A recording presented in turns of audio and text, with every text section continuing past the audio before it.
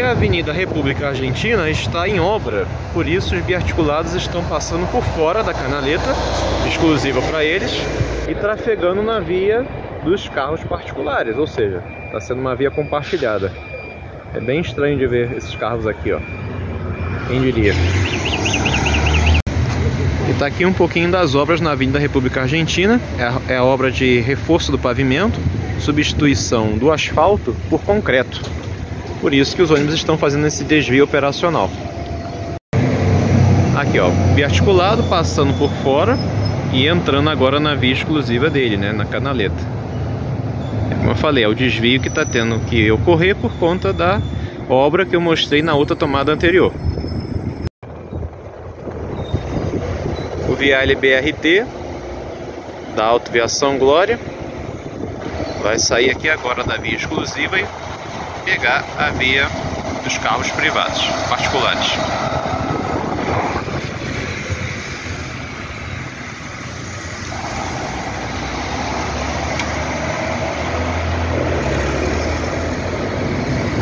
E essas são as é, intercorrências do cotidiano curitibano, bem diferente do que havia no Rio de Janeiro, né, pessoal? Aí, pessoal, aquele trecho da Avenida da República Argentina já foi finalizada a obra, né? Posto concreto naquela trecho da quadra. E ao fundo a Praça do Japão. Nós estamos aqui no bairro Água Verde, chegando no centro de Curitiba. Ô, oh, cidade bonita!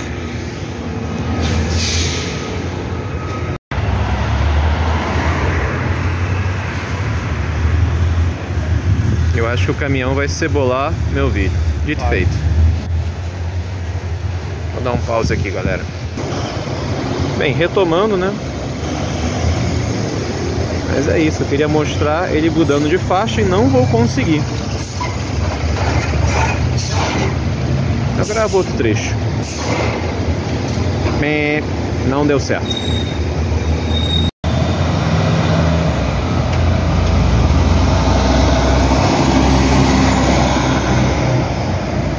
Saindo na canaleta, entrando no desvio. Ali está o aviso para tomar cuidado. E descendo aqui a República Argentina agora outro biarticulado, Millennium BRT, aviação Redentor. Agora sim estou conseguindo mostrar o que eu queria para vocês na linha Pinheirinho Rui Barbosa.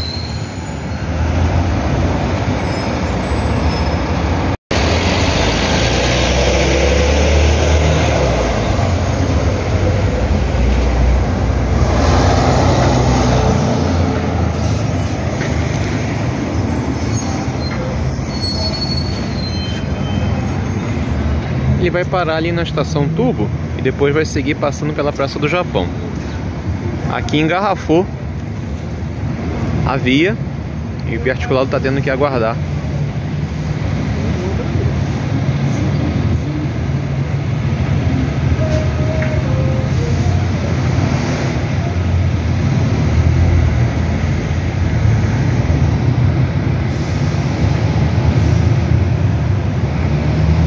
E nisso vem descendo o BD 135 milênio é, milênio 2, como eu costumo chamar da Aviação Glória, carro que chegou em Curitiba é, no final de 2006 e continua prestando serviços aqui na cidade. E apesar de ser 2006, ano de fabricação, ainda está muito bem conservado.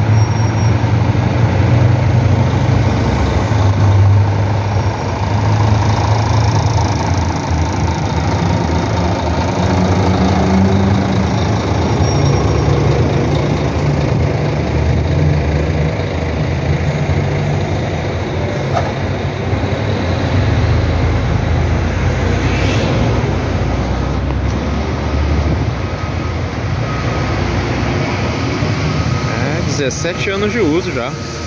Ninguém fala.